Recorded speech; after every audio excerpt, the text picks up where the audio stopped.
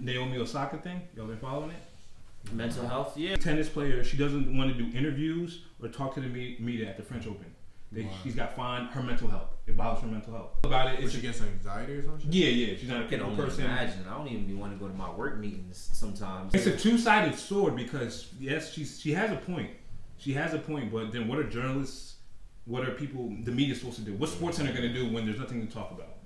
Yeah, that's That, true. that messes up for them. She, she gotta meet them halfway, and they gotta meet her halfway. Yeah. she, she gotta be on some shit like, all right, I'm not today, but next week I'll talk to y'all, Yeah, or in a month. You know what I mean? Like, Now, I, well, I give me some time. It's weird. Like some people, like you look at Jordan, they all had to do interviews. Another thing that messed it up for like the all leagues. The players have more money now than ever. They could afford to sit out. They cut afford, Yeah. yeah. No, my thing. I think the resolution should be no mandatory interviews, but you get a bonus if you do interviews. That's how I feel. Yeah, I don't think you have to Put a money I feel incentive like to you it. Have No one's gonna interview. I feel You're like making ninety million. have to do 90 that. million. Yo, No, not maybe not the top athletes. Maybe That's who you want to interview. You don't want to interview Yeah, that's a True, point. true, That's a good point. bench player. Like At the end of the day, I feel like you just gotta respect what's going on. Is she in a situation like, well, she's a fucking Yeah. human being. Like Yeah. she said, she can't talk right now. But that could Respect set that could set a precedent. That means this person doesn't have to talk. That person doesn't have to talk. You want that media attention. That messes up for the true. sport. That messes up the whole for a, a whole sector of journalism. So what are they supposed to be robots and have to talk? Remember when Kyrie didn't want to? He said, "I don't want to talk to the media." People really went crazy on that. What do you mean you don't want to talk to the media?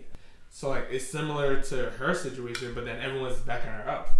Like She said mental saying? The only thing health. that's Kyrie weird. said he just didn't feel like doing it. Yeah, yeah. She went But to mental health. You but say mental health. with his That's a mental that's a health, too. word. So she should do interviews, but if she has a mental crisis right now, Yeah, then, you can't yeah. force her. Like, Yeah, yeah. I I mean, it's we should kinda- support her. especially in definitely. a in an era now, like where there's just a lot of things going on, a lot of conflicts and confusion.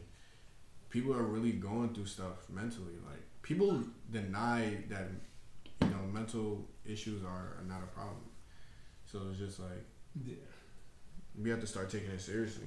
I be taking mental days too.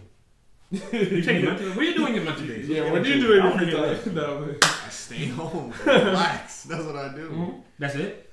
Yes, that's. I thought you know some people treat themselves. They might do something spa. Yeah, oh yeah, like that. No movie by myself. yeah, yeah, yeah. Self care. It's Yeah, that yeah. self-care. I'm not start doing that. I don't do that enough.